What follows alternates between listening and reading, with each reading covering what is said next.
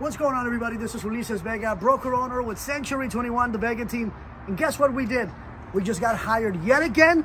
In this ever-changing market, my team and I are still getting listings. While other realtors are struggling for business, not my team, not my agents. So guess what we did? We just got hired by a beautiful, hardworking family to sell their home and help them buy another one. This one, three bedrooms, one and a half bath, beautiful city of Norwalk, close to the freeway, close to Cerritos College, shopping centers, schools, parks, and the price, guess what? $650,000. I don't remember when was the last time I went to a listing appointment and guess what? I didn't get hired. Why? Because we're skilled. We're knowledgeable about the market. We have a proven track record. Our social media and video marketing is like very few agents in the industry. So if you have any questions about real estate, you're thinking of buying, thinking of selling, thinking of relocating, Give my team of full-time professionals a call.